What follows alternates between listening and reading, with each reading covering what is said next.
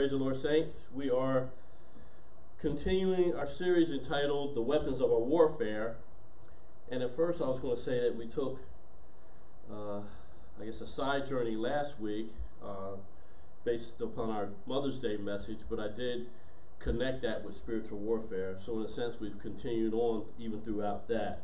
So, um, over the last, ooh, I guess maybe a month, we've looked at some of the phrases that are found in our text scripture uh, being strong in the Lord and the power of his might, putting on the whole armor of God, and talking about standing against the wiles of the devil.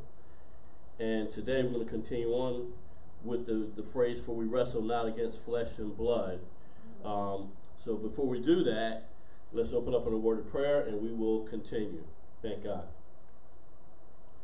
Heavenly Father, in the precious name of Jesus, we give you the praise, honor, and glory for everything you're doing in our lives. And we just thank you, Father, that you've given us the opportunity once again to partake of your word, which is manna from on high. It has a capacity to strengthen us, um, guide us, reprove us, energize us, give us um, insight, light a path before our feet, um, impart wisdom into the lives of others. So we just thank you, Father, for it. And even as we continue to study uh, principles relating to spiritual warfare and the weapons of our warfare, we just thank you, Father, that um, even before we go into the specific weapons, that you would continue to build us up and arm and equip us, perfect, hone, and refine us so that we can serve you faithfully. We thank you, Father, for the principles that we're going to share today. We ask, Father, that as it's relevant to our daily lives, that you bring it, bring it back to our remembrance and we give you the glory, honor, and praise, Father, for these things. In the precious name of Jesus, we pray. Amen. Amen. Praise the Lord. And I know I didn't read uh, the entirety of the text scripture, so I will do that now. And it's Ephesians chapter 6, verses 10 through 18. Excuse me.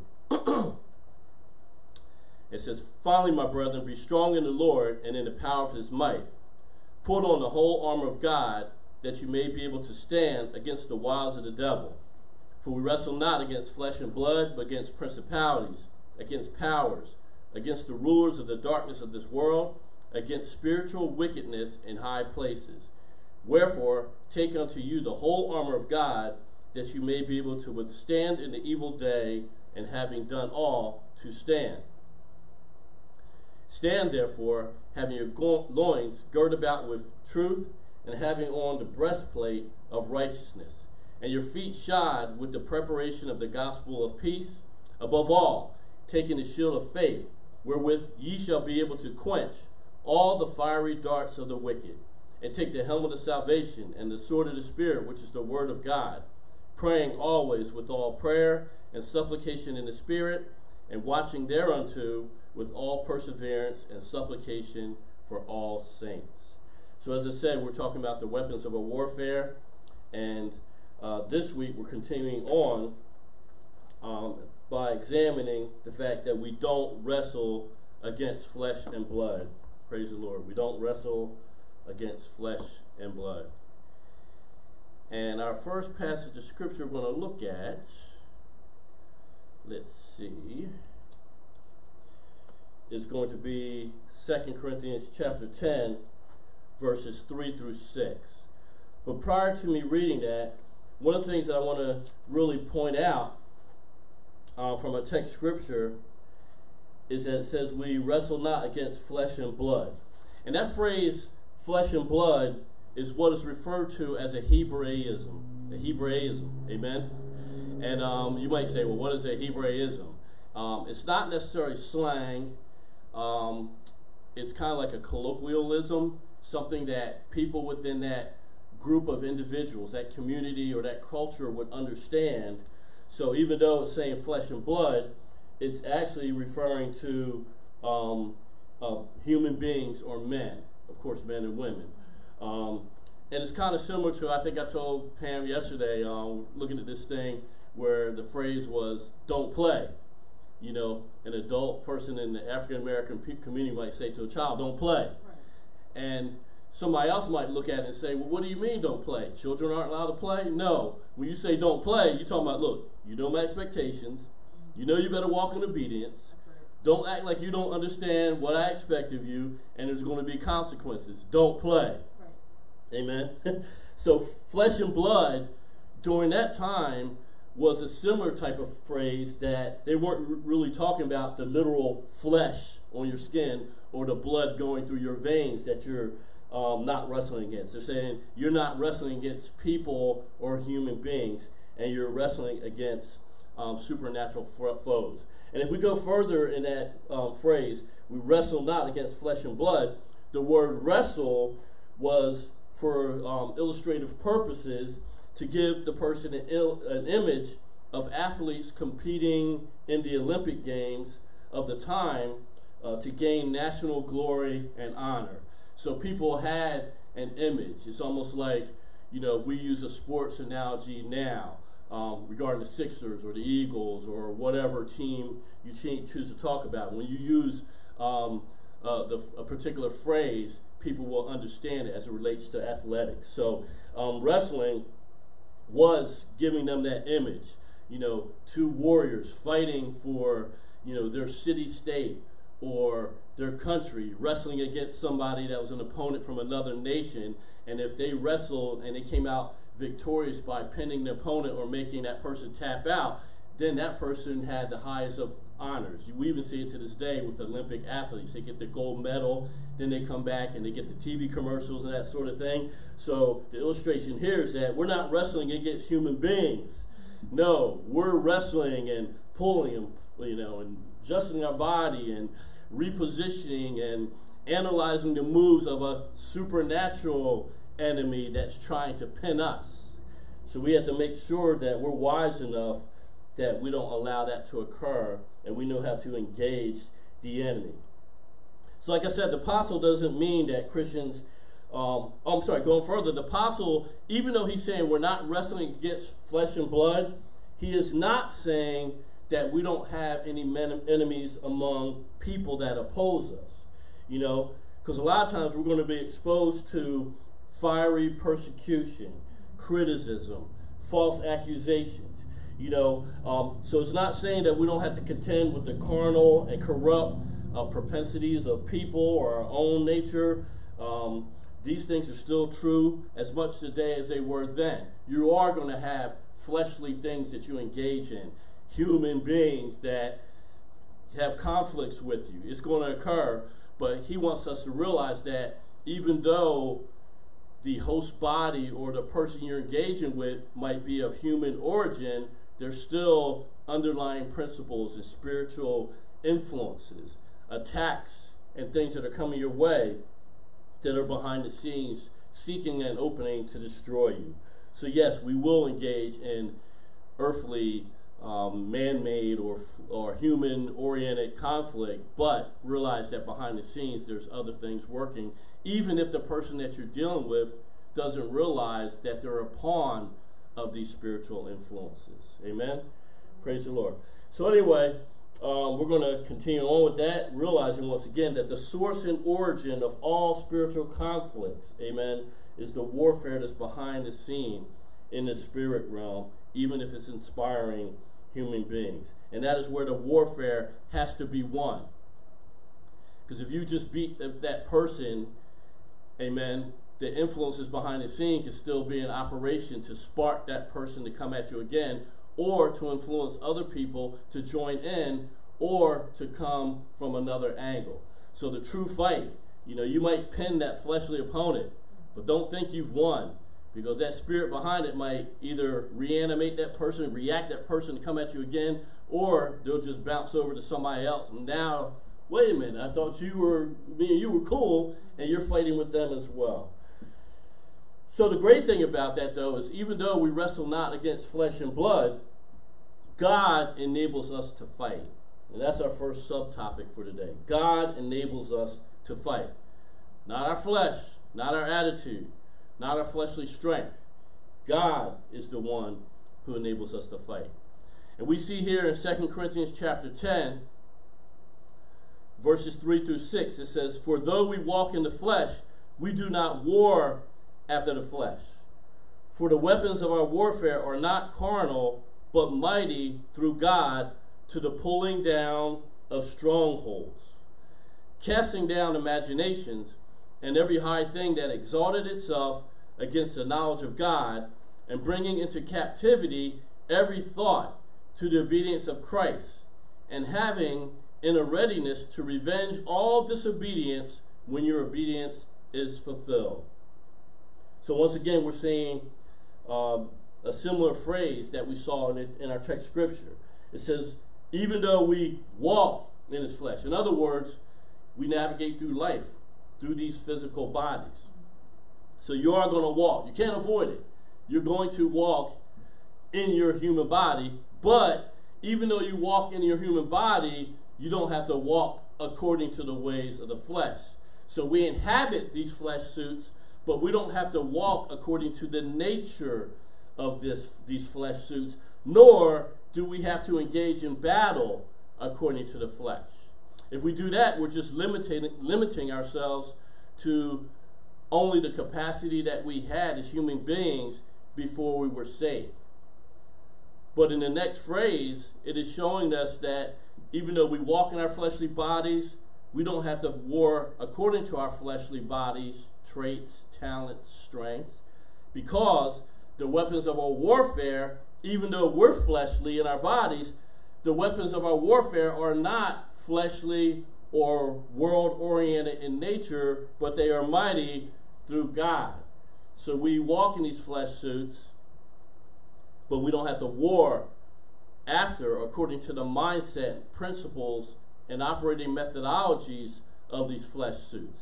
Because the weapons we were given are not fleshly, they're supernatural in origin.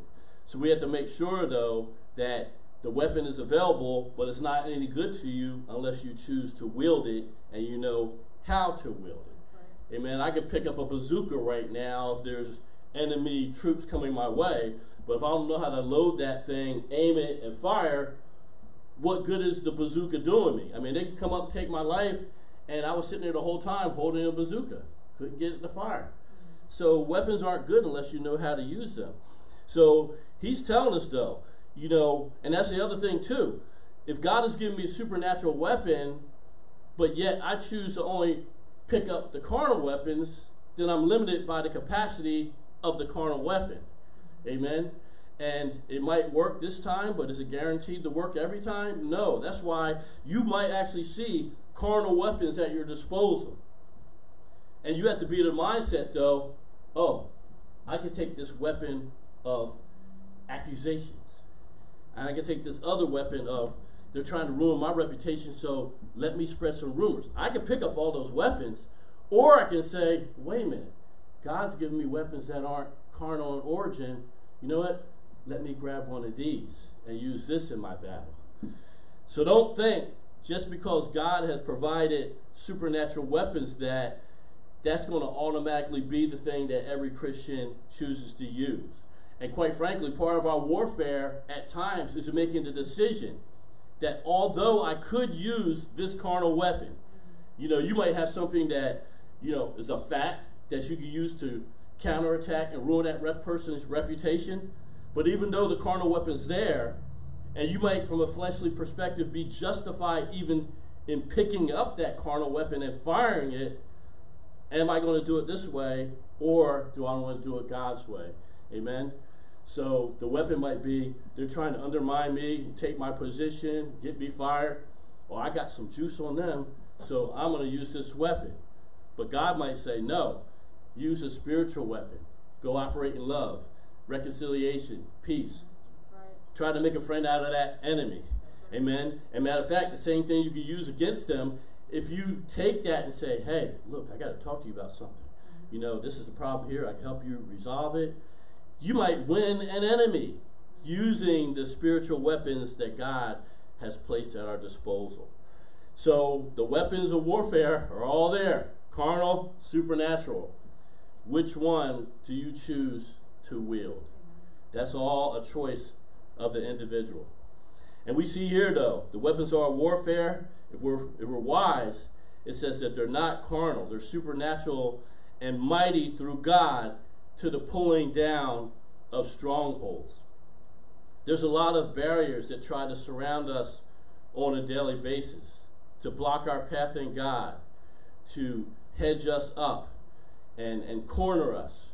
You know, sometimes we say, hey, I don't see any way and I don't have the strength to get through that wall. There might be times that you've tried to climb over that wall, to, you know, make an opening in that wall, to even dig underneath, to crawl under, underneath that wall. You can't get through. But we see here that that might be because you try to use all the carnal weapons and tools at your disposal. But we see here that when you use God's weapons, it says that they're mighty through Him, and it gives you the capacity to pull down the strongholds. In other words, you can break through some of the things that you couldn't get through previously on your own carnal strength. And it doesn't say that, okay, well, they're hardy, they're pretty strong. No, says they're mighty through God to the pulling down of strongholds. Then it goes into the mental warfare that we have to deal with, casting down imaginations. You know, uh, we can imagine some crazy things, especially when we're um, being bombarded with accusations and people trying to undermine us. And you know, we're going to be honest. A lot of times, some of the first things that come to mind is like, "Oh, you want to do that? You know, well, I'm going to do this." Or you said that about me, I'm going to say this about you. And you attacked me once, I'm going to double down and, and get you back. You know, I've shared before that my mindset before I got saved is that, you know, you did something to me, I wouldn't get even. I had to get more than even because I would not only get you for what you did, but I would send a shot across the bow. Don't mess with me in the future. Because now I want to go further than you did. Amen. So that's not something that's a type of warfare that God wants us to do. So when people are doing things and when the enemy is hurling attacks at us through fleshly hosts or, or people that are influenced by the enemy, um, sometimes the imagination does cross our mind of this is what I could do to turn this situation around, or here's what I could do to, to fix them. No, God says don't allow yourself to go down that path of imaginations. We can be very creative in terms of the things we can scheme to do. But God tells us, you know, to cast those things down. Don't give them any place in your thought life. Don't allow them to take hold of your mind, your heart, and your spirit. But, you know, if this thing does not exalt itself, um, if it try, I'm sorry, if it tries to exalt itself against the knowledge of God, He tells us, cast it down. Don't give it any room. And He said, matter of fact, don't just cast it down. Bring that thing into captivity. You're not going to plague my mind anymore. You're not going to feel, you know, my fill my mind and my heart, my spirit with this devious schemes to, you know, fight warfare. I'm going to bring this thing into captivity and every thought that tries to come in to distort, to delude, or to take me off the path of God, I'm going to subject that thing to being in prison so that it no longer has authority over my life.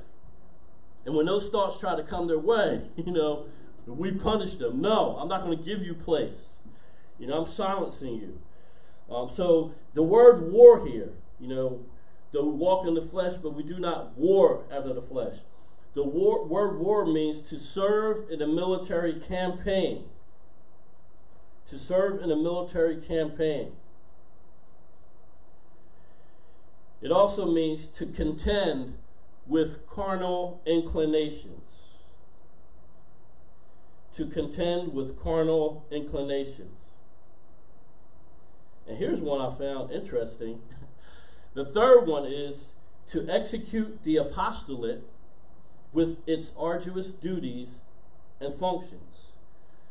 To execute the apostolate, that's basically the role of an apostle, or, you know, we can bring it on home to our own personal lives, to execute the operations of your ministry with all its arduous duties and functions.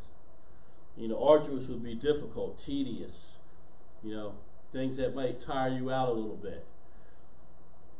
But it's basically telling us that, you know, as we're executing some of the responsibilities um, associated with our walk in God, some of them are more difficult, tedious, they take more time, more patience. They become very arduous at times. but they're part of our ministry. And God is telling us that we're not warring after the responsibilities. Amen. We engage in battle according to the mindset and the Word of God, and it gives us a capacity, amen, to continue on, um, to do all the things that we're responsible for. Praise the Lord. Uh, we're going to move on. The next passage of Scripture, we're still talking about how God enables us to fight.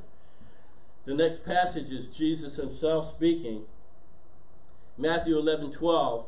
It says, From the days of John the Baptist until now, the kingdom of heaven suffereth violence, and the violent take it by force. And there's several, there's a phrase and a couple of words that really um, bring this thing home in terms of what it means and the revelation that um, we need on a daily basis. Uh, first, it says, from the days of John the Baptist until now, it's still ongoing. And what's ongoing? It says, the kingdom of heaven suffereth violence.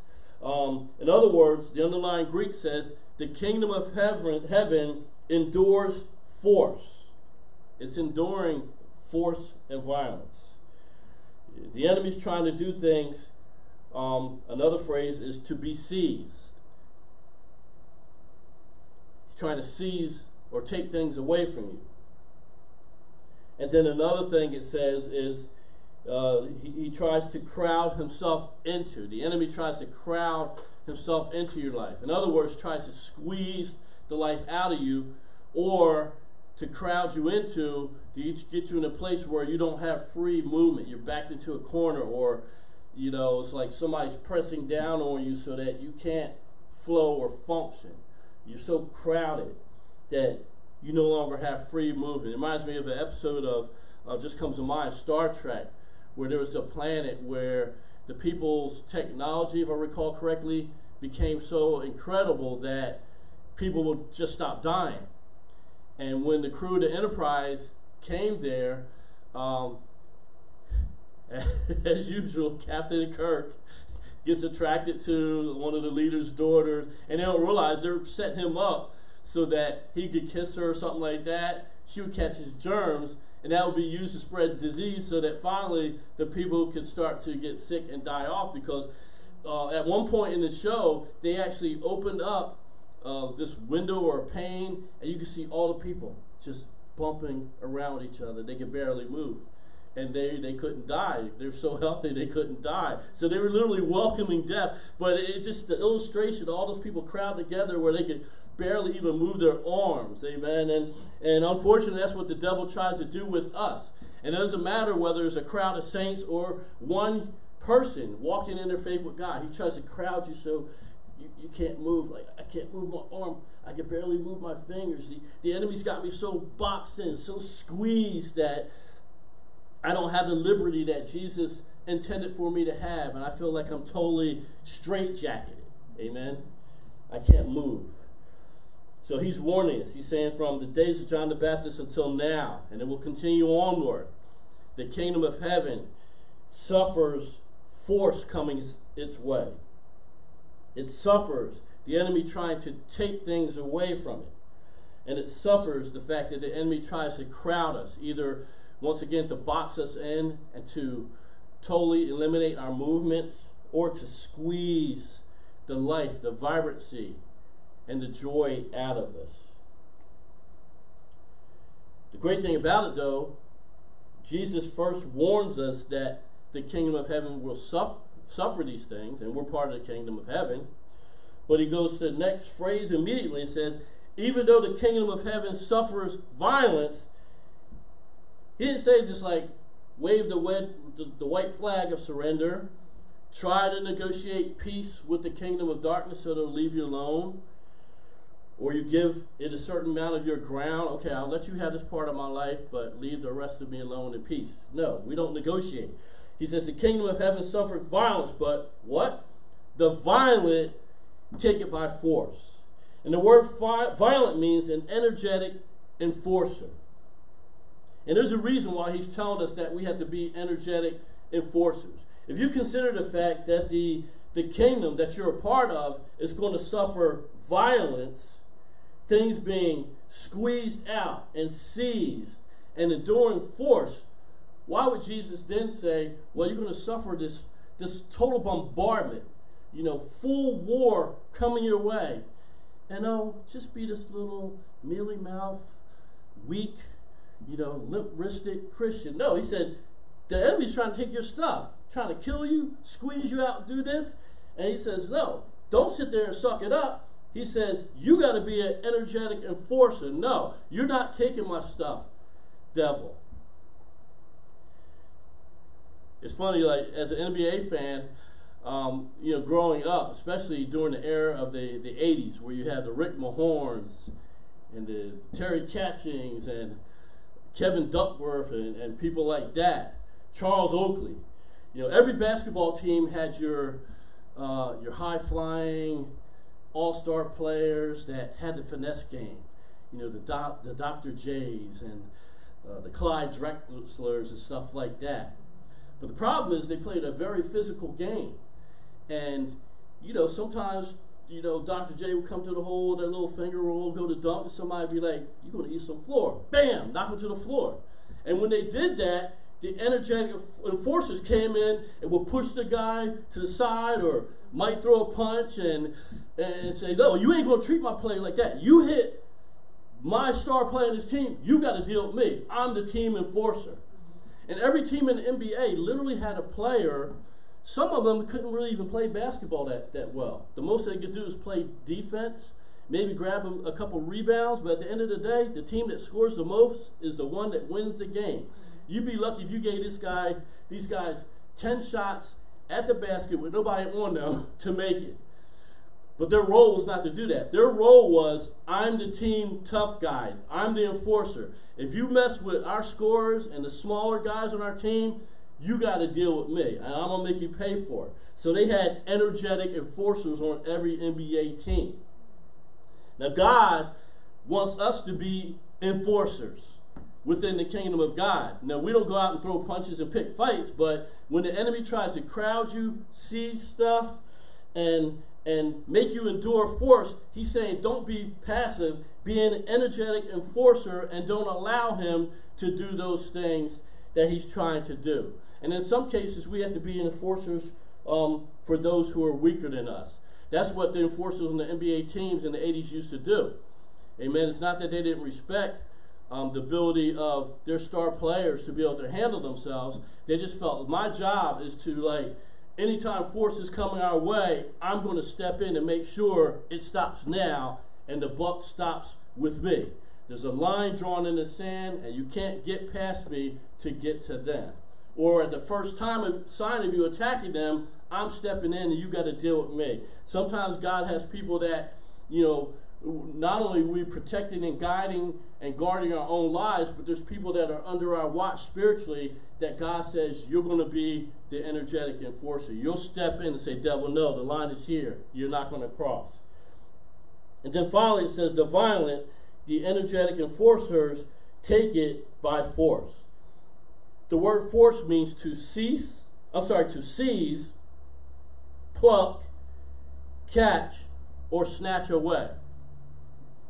Once again, means to seize, pluck, catch, or snatch away. So that means trying to seize your stuff. and God's saying, No, I need you to be, or Jesus saying, I need you to be an energetic enforcer. He's trying to seize your stuff. Instead, you're going to turn that around and give him a greater violence, a greater force, a greater enforcement, and you're going to snatch back anything that the enemy has stolen. So instead of being this, the victim of things being seized, you are now the person that turns that around, and you're the one who's snatching stuff away. Praise the Lord. So um, that's another aspect of God showing us how to fight or enabling us to fight. Let's go to another one by Jesus, um, Matthew chapter 18. And we're going to look at verses 18 through 20. Matthew 18, 18 through 20. Verily I say unto you, whatsoever ye shall bind on earth shall be bound in heaven, and whatsoever ye shall loose on earth shall be loosed in heaven. Again I say unto you, that if two of you shall agree on earth as touching anything that they shall ask, it shall be done for them of my Father which is in heaven. For where two or three are gathered in my name, there am I in the midst of them. And that's really uh, shows you the wisdom of Jesus Christ. You know, earlier on, he told us how we're going to suffer violence as being citizens of the kingdom of heaven. Then he tells us that, hey, the enemy's going to try to crowd you, to attack you violently and seize stuff, but you're going to seize stuff back as yourself as energetic enforcers. And then we get later on in this passage of scripture, he says that he's basically telling us that there might be times where you can't go it alone. Amen. You know, Jesus Christ, is as powerful and wonderful as he was, amen, he had his disciples at his side that handled different responsibilities. And yes, could he have done it by himself? Of course. But he was doing that as part of that, that aspect of family and ministry and joining together and also discipling those who were, you know, at his side. And he's telling us here that you can't go it alone. And, and if, if he went around with people that were under his training, even if you're in the role of the mentor, there should be people that you're training, people that you're overseeing. Um, it's not just, I'm this lone ranger out here walking my faith by myself. And as we see here, there's times that you might be coming up against things that are more difficult. And he's telling us that you don't have to go it all alone. He says, if you get together with other people, you know, and it doesn't have to be this large group of 100 saints, even though that's a great thing. But hey, if you can just get two people, he said, if the two of you shall agree on earth as touching anything, and it has to be according to his will, that we can bind and loose things and see the manifestation of them here on the earth. So he's shown us that there's a power associated with us unifying and joining together um, with other saints. You know, look at there at the end, verse 20, where two or three are gathered together in his name. He says, I'm in the midst of you. So you're guaranteed a group of four at the very least um, if you join together with your fellow saints. And that's uh, uh, an important aspect of the things that we're doing with God. Um, so that's all we're going to share for um, that subtopic. Amen. And we're now going to move on to another one. So, once again, that was God enables us to fight. The next aspect is that you cannot wrestle if you're not properly trained. Cannot wrestle if you're not properly trained. And, you know, I've literally seen this. Um, you might be bigger, you might be stronger, but if you go against somebody who is highly trained in wrestling um, or jujitsu, one of those ground fighting um, sports or disciplines, it doesn't matter because with them it's it's leverage and it's arm locks and it's positioning your body and your legs and just just different techniques and you know that's the last thing you want to do is to go to the ground and wrestle with somebody that truly knows how to wrestle and you know, like I said, I've seen situation. We had this guy, um, this this this this small guy at a martial arts school named Peter. Um, but he's he's he's wrestled before. He knows jujitsu. I'm not saying he's a master, but he knows it enough. And there's been times where people like my size and stuff are going to the ground with him. Next thing you know, he, he's got them like that because he knows how to wrestle. So, are you bigger than him? Yes. Are you stronger than him? Yes. Do you outweigh him? Yes. But he knows based upon his technique and angles and shifting his body weight and, and actually using your weight and momentum against him to get you to a position where now you're being subjected to his force. He knows how to maneuver to take advantage of um, what you would think would be greater attributes.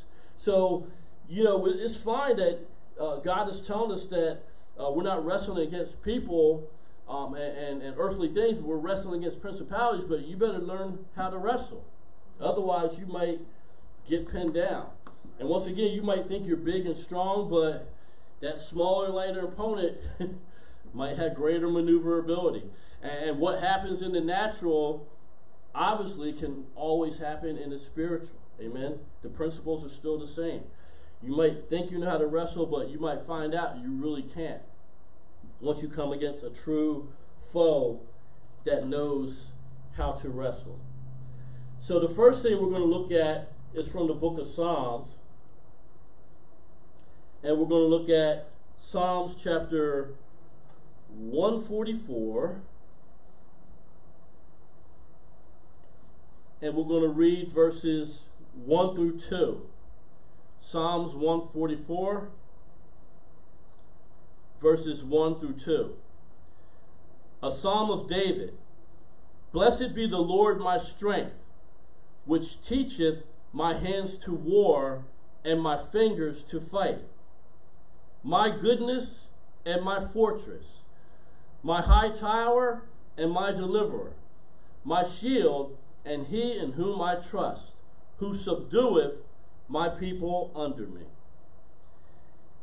So we see here a powerful um, passage of scripture. and We see that was written by David himself. Quite frankly, it was sung by him. The Psalms were songs. Um, but he says here, Blessed be the Lord my strength. See, he's not trusting in his own strength. You know, he's, he's trust, trusting in the strength of the Lord. And that's not just a physical strength, but, you know, strength is just not tied into what your physical attributes could do. You can have an emotional strength. You can have like a strength of determination. You know, quite frankly, a lot of the strength that um, we operate in a daily basis, the, the, the last aspect of it is what we do in the physical. It takes this emotional strength first to enable you to engage. So when he's saying, Blessed be the Lord my strength, I'm sure he's thanking God that, hey, I can kill 10,000, as, as, as we've heard has been sung about him. But even more so, I believe he's saying, I thank you, God, for the strength you give me, my, the strength to lead, the strength of character, even though I fail from time to time, the strength to get up and continue to fight. You know, you look at the battle of, of Ziklag, you know, lost so much and, you know, wept himself soaring. God gave him the strength to like go up and get your stuff back. So he's thanking God that he is the true strength behind his life, not his own personal attributes. And then we go on, he says, you know, he not only is he my strength, but he teaches my hands to war. Yes, I learned how to use a sword. I learned how to use slingshot with rocks. I'm sure he learned different hand-to-hand techniques and knife techniques. Those are the sort of things that you did, you know, as a warrior, you know, and having to go out in the battlefield. So he says that, and that's the thing. He says like, I may have had earthly instructors that say, hey, here's how you use a sword. Um, you know, through trial and error, I learned how to use a slingshot effectively. Um, but I'm sure he's saying that not only did you give me strength, but, and I may have had earthly teachers, but behind the scenes, it's really you who has taught me the art of warfare, amen, and how to fight. So I trusted you. Yes, I heard earthly teachers, but I trust in the insight you give me, the divine revelation that enables, enables me to be an even, even greater warrior. And let's face it, I mean, come on. The human body, you fight a few people, you're going to tire out. I mean, if you ever been in any type of gym, boxing, martial arts, or whatever, um, when, when, I did Taekwondo, um, a lot of times um, Bobby Leach used to make us do drills at the drills at the drills, and we have like um, we start off with like you know 100 kicks one angle and then we go into other things. Then we do movement and, and, different kinds of drills and and then when we have sparring night and every time we knew it was sparring night most of us just want to come in and spar. But no he'd make us do probably about 40 45 minutes of high energy calisthenic th- stuff. Then he would allow us to spar and you saw the difference between those who were in the best condition and those who weren't they knew the techniques to spar but some of the people, after a minute, and he would make us spar for three minutes, after the first minute, it's just kind of,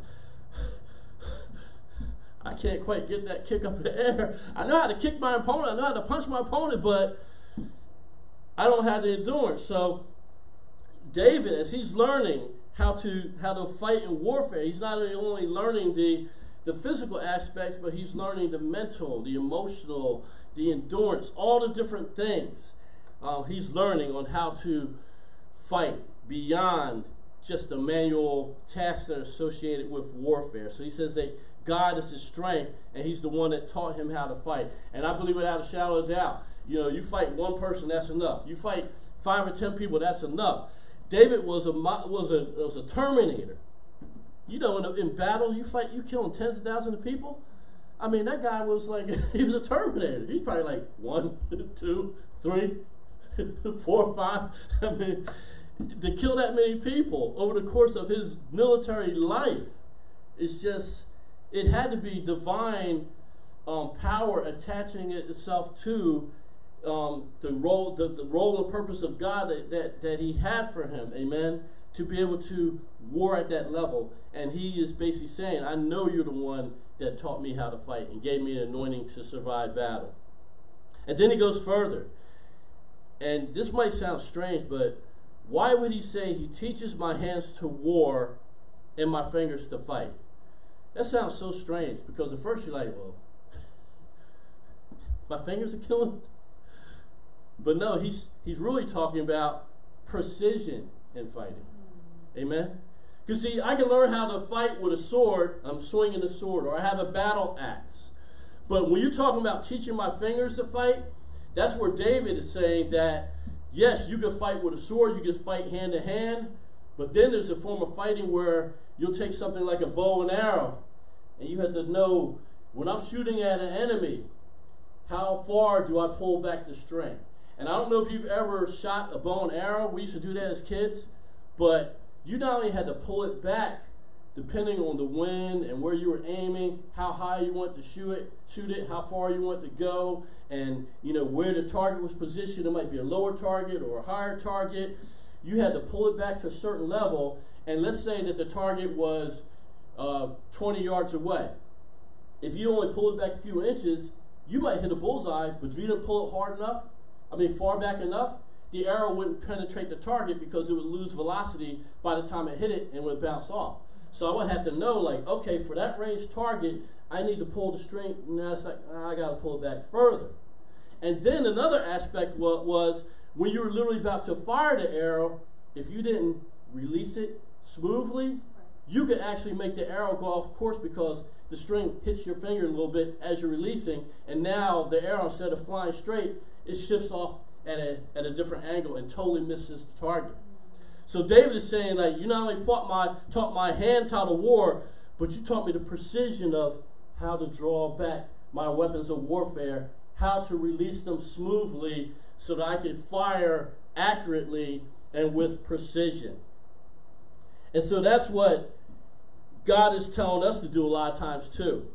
Amen. I'm not only telling you how to fight with your overall body and to fight with your arms or your hands, but He's saying also, I want to teach you how to fight with precision.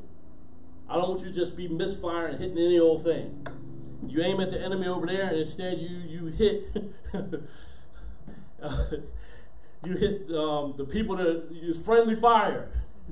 and you got some casualties because you aimed at the enemy over to the right, you misfired, and you hit the innocent people over there on the left. Amen. I want to teach you to fight with precision so you know, amen, the depths of how far you need to go. You know the, the angle and the precise um, way in which you need to engage the enemy in battle so that you can hit the target every time. And as I use the illustration of the arrow, you might hit the tar- target, but did you pull the string back far enough so that it penetrates when it hits? So it impels itself into the target instead of glancing off or bouncing, and you got an arrow sitting there in front of the target, which would be extremely embarrassing. Amen? And of course, inefficient. So God teaches us the precision that you will hit the target and the things that you're doing. Amen? The things you're saying, the things you're preaching, the wisdom you're giving, the things that you're praying, that these things will hit with precision and they would have a destructive purpose as it relates to the enemy, but a healing, productive, salvation producing impact um, for the godly things that you're doing. So, um, and that's a whole other level of training. Quite frankly, you could pick up a sword and just start swinging it, and you might get lucky and hurt, wound, or kill the enemy. It's quite another thing to pick up a bow and arrow and know how to fire that thing accurately. You know, and as once again paralleling the things from uh, the physical to the spiritual. You know, you can pick up a passage of scripture, but Do you know how to wield it effectively and precisely to touch the heart of that person or to reprove, you know, somebody that's going astray or to, you know, vanquish the attacks of the enemy? Once again, anybody can pick up something and just start swinging. Oh, I hit the enemy. Well, you got lucky. No, did you train yourself to use the weapon effectively? And can you use, you know, the broadsword, the bigger sword? Can you take that and take it down to using something that's a smaller thing, but maybe more precise and more intricate and more effective? God wants us to get to that level of training. And the thing is, um, learning how to fight properly being trained requires repeated training, sensitivity to know how to fight, how to adjust, you know, um, and it also takes a certain amount of endurance. You know, you're never going to get to the point of being highly trained unless you've overcome hundreds, if not thousands, of failures. Amen. I'm kind of getting into stuff for the future, but um, you're not going to get to a high level of training unless you've overcome failure. Name one art, one discipline that you become a scholar, a master, a teacher, a counselor, you know, a leader, unless you've already walked the path of failure. It's impossible. And, in the cases where people were elevated without going through that process, nine out of ten times people looking at it like, how they get that position? They don't know what they're doing. They don't deserve that role. And, you know, sometimes people just being mean spirited and they're jealous. But then there's time where you say, nah, that person shouldn't be that role. They're not equipped. They didn't go through the training process. So God wants us to go through the training process. And here's the thing sometimes with repeated training, you're going to have repeated failure. But the ones who become sharp and disciplined and motivated and can overcome, you know, failures are the ones who get to the place where they now have the, the confidence to continue to wage warfare against the enemy and succeed. You know, you only really become a champion after you've lost. Amen. All right, so the next one we're going to look at, and let me see. We're going to do a couple more before we uh, stop for today. Uh, next one is 1 Peter chapter 4, verses 1 through 5.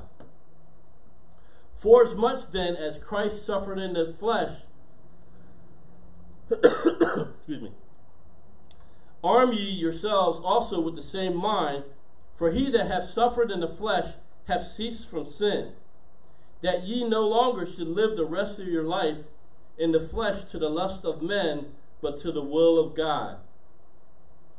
For the time past may suffice to have wrought the desire of the Gentiles and to have walked in lasciviousness, lusts, wine bibbings, revelings, carousings, and abominable idolatries, wherein they think it strange that ye run not with them into the same excess of riot, speaking evil of you, who shall give account to him that is ready to judge the quick and the dead. So uh, we see here that Christ is suffering in the flesh but he had a certain mindset in terms of how he would continue to conduct himself and engage with various situations. Despite the things he suffered, he still always had the mindset. He was kingdom minded, and he was going to fulfill uh, the role that God had for him. And we see here that in the same manner, we are called to arm ourselves with the same kind of mindset. So when we're looking at that, arming ourselves with the same mindset as Christ, it's basically saying that we should have a readiness to suffer for the cause of our faith, even to the point of death, as Jesus Christ had. Once again, having a readiness to suffer for the cause of our faith, even to the point of death, as Jesus Christ had, had done. And notice that it says that, you know, previously you walked according to the lust of men. Um, and you know, now that you're walking according to the will of God, it says that there's people that have known you from the past, and now they're speaking evil of you because you no longer take part of their lifestyle.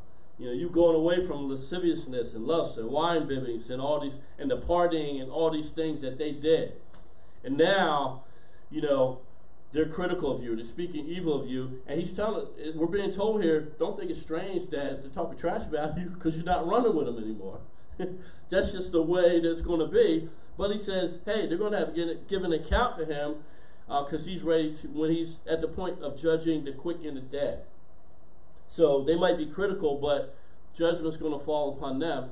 Not even because of how they treat you and talk evil of you, but just because we must all give an account. So he's basically telling us don't worry about those things. They're going to speak evil of you, but continue to live according to the principles of the Word of God on a daily basis. And like I said, he tells us to arm ourselves with the same mindset.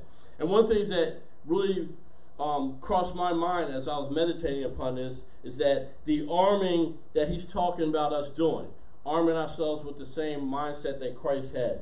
This arm, this arming is a mental arming that is implemented prior to putting on the whole armor of God or grabbing the weapons of our warfare. Because you can grab implements of war, you can put on armor, but if you don't have the right mindset, it's likely that you, you might be wounded, gravely wounded, or even killed in a battle unless you're able to retreat. You know, once again, just because you grab a weapon and put on armor doesn't mean you're going to be valiant on the battlefield. I hate to say it, but we had a situation where um, somebody was criticized when they had one of the um, the shootings at the school. Um, and I remember the, the party in question, but person had the official right to come into the school as an officer of the law, had the weapon, but stayed outside. It was criticized because he didn't go in. So just because you have the badge, the uniform, the, the firearms and all that stuff doesn't mean that in a moment of crisis and warfare that you're going to follow, you know, the training that you're supposed to follow. You know, it's a mindset, and you have to arm yourself with that prior to putting on your outer armor and picking up your weapons of your warfare. It's a mindset. So um, that's what he's basically telling us here. Arm ourselves with the same mindset that Jesus Christ had, and then once you've done that, your mind is in the right place, then you can put on your armor, pick up the implements of your warfare, and enter out in the battlefield. And here's the thing, you know, there's times where people do lose their weapons. You know, you swing your sword, you know, you get disarmed or maybe a sword hits a sword, your sword breaks. But you might still be able to fight and win because the mentality that you arm yourself with says, okay, I got a setback here. But I've armed myself mentally, so even though I don't have that physical weapon or that particular weapon at my disposal, I'm still determined to win so I'm going to continue to engage in battle, and I'm still believing I'm going to have vic- victory, and I will not retreat. It's a mentality. Amen. And that's what he wants us to have. Arming ourselves with our minds prior to picking up any spiritual weapons or putting on the armor, because the mindset, it, it, the spiritual mindset and faith in God is the thing that at the end of the day is going to enable you to overcome everything the enemy is, is throwing our ways. Amen. It's not in the implements of our warfare, it's in the mindset and the trust and the faith that God's going to enable me to overcome.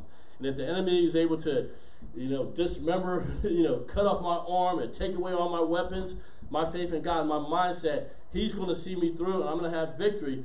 That's the thing that's going to take you over to that hill more than anything else. It's a mentality. Amen. I don't care what you throw at me, devil. I don't know how I don't care how many skirmishes you win.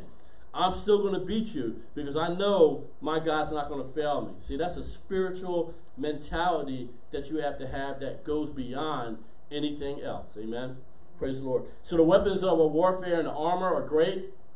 I'm not trying to, you know, take away from them, but the mentality. I trust him beyond all things. I know I'm going to win. I'm totally confident I will not lose. I shall live and I shall not die. That spiritual arming, that mental arming, that is the thing that we need before we pick up anything else. Praise the Lord. And that's the thing that we can't allow to go away. All right, last passage for today 1 Corinthians chapter 9, verses 24 through 27. Know ye not that they which run in a race run all, but one receiveth the prize. So run that ye may obtain. And every man that striveth for the mastery is temperate in all things. Now they do it to obtain a corruptible crown, but we an incorruptible. I therefore so run, not as uncertainly, so fight I, not as one that beateth the air. But I keep under my body and bring it into subjection, lest by any means, when I have preached to others, I myself should be a castaway. So we're seeing here that God wants us to all run a race with the mindset that we're going to receive the prize. The great thing about the race we're running is that each one of us can be the champion. Each one of us can come in first place and win because there's an immeasurable, incalculable number of trophies and crowns that Jesus Christ has for us. So it's a strange thing in an earthly race, there's only one winner most of the time. Once in a while, you get like a dual championship where they both get the, the, the title, but for the most part, you get one champion, everybody else is a, a lesser level. Um, unless you're dealing with um, maybe like an elementary school thing where everybody gets a trophy. But unfortunately, in most races, there's only one champion, one winner, one belt holder. So he tells us to have a mindset here that we need to run as somebody who's trying to win the trophy or the championship. I want to come in first. And that's why it says, So run that you may obtain. Now, notice there it says, Every man that striveth for the mastery is temperate in all things. That phrase, temperate in all things, and actually, that's getting back to what I was saying earlier, um, so I am sharing that today. Most people who master something have only done so based upon having the determination to overcome repeated failures. Once again, those who have mastered something, it could be a sport, it could be art, it could be some type of other discipline, technology, you know, whatever, a degree, whatever it is. Cooking. um, those who master something have only done so based upon having the determination to overcome repeated failures and to overcome the related discouragement that it engenders. You're going to have discouragement. You know, I want to be a cook. You know, you, you take a cooking class, you make a couple dish dishes, invite the friends over. What do you think? And they all quiet. Something tells me that you may not have failed, but uh, let's just say you haven't graduated to be a chef yet. you keep going. And You see, here's the thing: one person they, they ain't like my food. I see, I, I knew I could never be a good cook. I quit. I'm not doing it anymore. The person that has a champion's mentality, like, all right, all right, you didn't like it. Well, what was wrong with it? Oh, the season is wrong. The season was too much. You, know, you didn't cook it thoroughly enough. Uh, it was too cold. I mean, they might come back to you and say, hey, here's our evaluation. So you're like, oh, I don't appreciate it, but all right, I'm going to just have to suck it up. I'm going to go back to class. And you keep training and training, trying recipes. And after a while, people are like, oh, that was really good this time. You know, and you get to a certain level of, of, of quality and perfection. And, you know, you keep pursuing it till you become, you know, somebody can be considered like chef quality meals. But once again, it's after usually a number of failures. Just saw an interview recently. Um, former President George Bush, you know, junior, not senior, and he's become quite the artist. Does oil paintings. Um, he just did re- released a book recently where um, he wanted to really um, bring out like here's the value of immigrants coming to our country. So he did a book of oil paintings of all these different people that he had come across, and one was um, Dirk Nowitzki, who played for the Dallas Mavericks for years. So they interviewed him. He did a painting of Dirk Nowitzki, and he he described each person associated with the poem. I mean, with the portrait that he painted in his book. And they asked him. He said, "Well, were you always a painter?" He said, "No, I didn't take this up till after I was done politics." And they're like, "But you're you're really really good." And he said, Oh, I wasn't always that good. he said, The first few classes, it was pretty ugly. Next few classes, it got a little better. He said, I kept, I kept deciding, like, I want to do this. And he kept doing it to now he's published multiple works, and I've seen his stuff over the years. He's pretty good.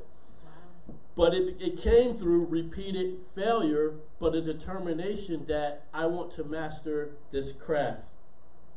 Quite frankly, one of the greatest differences between a master and a student is that the master has continued to rise up from the ashes of defeat to pursue what eventually became command and great insight over their discipline.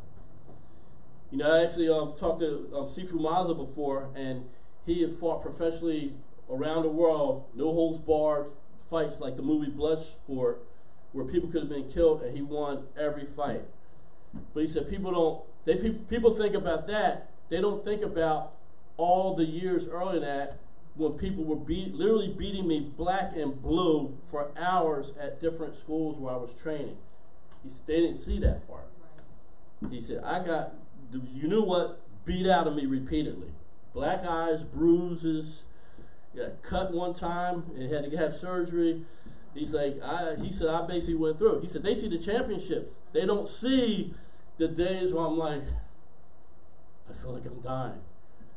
So you don't become a master unless you've had the determination to overcome great defeats and say, I'm not going to quit. I'm going to keep coming after you. I'm going to keep coming after that prize. Amen. And that's what God wants us to realize in terms of, you know, our wrestling against um, principalities. He wants us to get to the place where we realize that, no, you might not win the first few battles. And I think sometimes when we lose something, we say, well, maybe I didn't hear God right, or, or, or God doesn't love me, or, or why didn't God do this? And we try to question God. And sometimes God's like, you know, part of your training, I'm going to let you get a little, they ain't going to kill you. You might take a couple bruises. Oh, that hurt. What you going to do, student? Are you going to quit? Or are you going to get back up and say, you're going to have to just beat me more because I'm going to keep coming at you until I become a champion at this. Amen? You know, that's part of our training right now. He told me sometimes, you know, you're going to leave out of here sore. I'm going to punch you in your chest. I'm going to hit you upside your head. I said, bring it because I want to be good at that. So if that's the cost, that's what I want to do to master. And that's the problem. A lot of people say they want to be masters, but they don't have a master mentality. At the first sign of defeat, bruising, disillusionment, I'm checking out. And that's why, once again, we have so few masters. You notice there's, there's always tons of students, tons of, nat, of, of novices, amateurs, but how many masters do you truly have? The numbers are limited because most people don't have the zeal, the determination to continue to press past the pain of failure. And there's going to be times, once again, that we're wrestling, whether it's against human foes or spiritual influences behind the scenes. There's going to be times where you're wrestling against those things and you're losing, or you're feeling like, man, I'm getting bruised here. But do you want to become a master in the art of the kingdom of God's warfare? Amen. God will give us all the capability to reach that point. But are we willing to engage and run the race so that we can win in spiritual warfare? Amen. Praise the Lord. So we're going to stop with that today. We'll continue on next week. We're going to start looking at, um, we look at the fact that we don't wrestle against flesh and blood. Next week, we're going to start out, we wrestle against supernatural enemies and influences. And we're going to specify some of the things that we come against. Praise the Lord. Heavenly Father, in the precious name of Jesus, we give you the glory, honor, and praise for everything you're doing in our lives. And right now, we praise you, Father, for the principles that we've been um, learning and focusing on. We thank you for uh, just everything that you're enlightening me in so that I can share it to your people. I praise you, Father, for all the principles, Lord. And even as um, you laid upon my heart, a lot of things that occur in the natural, the physical, the temporal, or just illustrating what's going on behind the scenes in the supernatural realm. So we do praise you, Father, that we would have a mindset, um, uh, just arming ourselves up. And Lord, we praise you that you give us the armor of light and the full armor of God and the weapons of our warfare. But we do praise you, Father, that we would see that we have to arm ourselves first with the mentality that no matter what goes on in my life, I'm going to continue to persevere and I'm going to seek to become a master in all the things that you want to teach me. And even though there might be setbacks here and there, there might be times that there's total defeats. I just praise you, Father, that you continue to train and refine the things that I learn. Show me the things that I need to learn. And there might be times that I'm sloppy in terms of how I wrestle, but I praise you, Father, that once again, you cannot become a master until you've suffered some defeats. So we praise you, Father, for that. We thank you, Father, for continuing to hone and refine everything that we're doing. We praise you, Father, that uh, we just would continue to have that uh, determination to continue to learn from you. And Father, even as we do um, have victories here and there, Father, we praise you that there's always still another level of training and another level of proficiency that we can reach. So we just thank you, Father, for this. We continue to praise you, Father, that if any of us are currently dealing with spiritual warfare, that you would show us how to view uh, the attacks of the enemy, and you would show us how to respond. I even thank you, Father, for showing us how to not only have our hands to war, but once again to have the precision of our fingers to fight, so that we would shoot accurately the weapons of our warfare at the enemy, and we would strike the targets. And we just give you the praise, honor, and glory for this. Also praise you, Father, for um, the week ahead, that you continue to keep us healthy and strong, especially as they're starting to change the guidelines regarding the coronavirus to open things up more. We thank you, Father, for giving us wisdom, discernment. Show us the places that we can go to, to safely, and if there's places that we need to, to avoid, just give us a check in our spirit. We praise you, Father, for insulating us against sickness and disease and continue to allow us to be a blessing in the lives of those that we interact with. And we thank you also for divine safety in our coming and going on the roads, Father, that um, just keep reckless drivers away from us. And we just thank you, Father, in advance for a blessed week in which we're blessed, as well as being blessed, blessing unto your kingdom. And we thank and praise you, Father, for these things. In the precious name of Jesus, we pray. Amen.